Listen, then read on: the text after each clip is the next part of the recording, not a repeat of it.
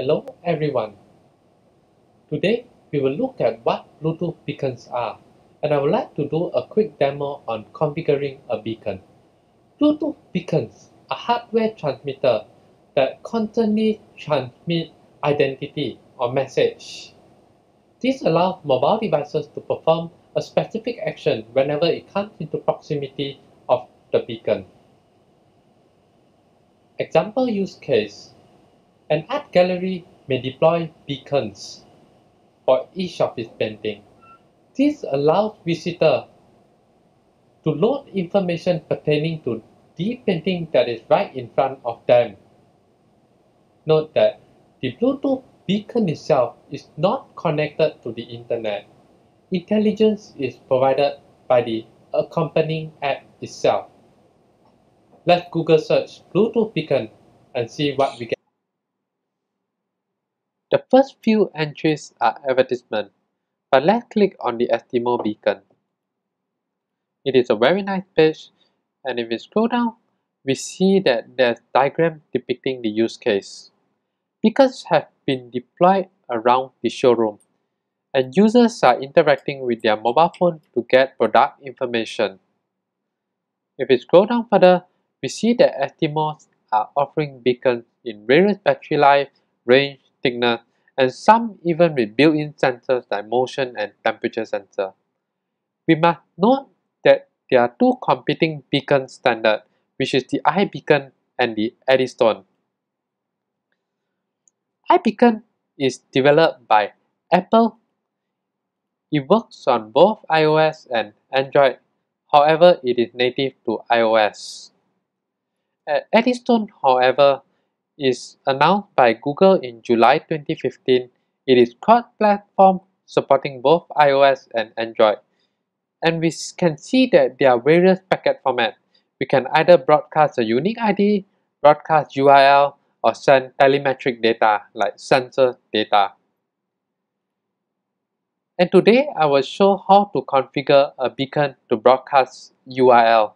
And the beacon that I have is by April Brother as you can see, it is selling for $12 a piece. It has mobile apps supporting both iOS and Android where we can uh, quickly configure the beacon. Let's have a look. So this is what comes in the box. A nice case where we can put a beacon, 3M tape so that we can tape the beacon to something, maybe a wall. And this is a button cell CR2477 it is quite thick and it also comes with a leaflet showing us where we can get the resources. And this is the Bluetooth chip itself. On the underlying we can look at the electronic circuit. And what I'm going to do is slot the button cell in. And over here I have a mobile app. So this April beacon is downloaded from their website we are going to use it to configure the beacon. And now I'll click device and do a scan. So over here I have another beacon as well. So we have two. This is what we are going to play around today.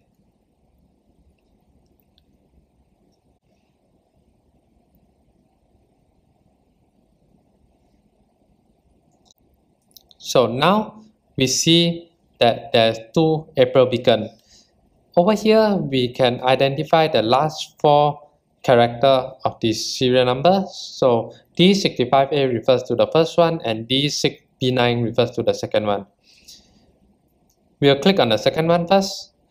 And on the second beacon, you can see it is now configured for iBeacon protocol.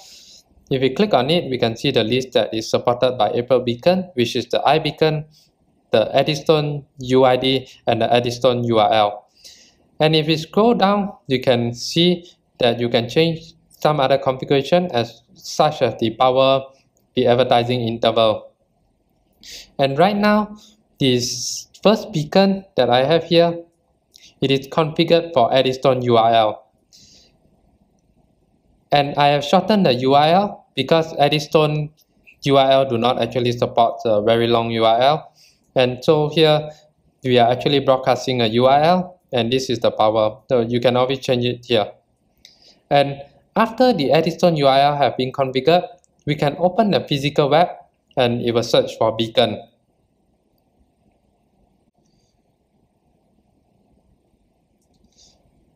Make sure that your Bluetooth and location is on for it to work.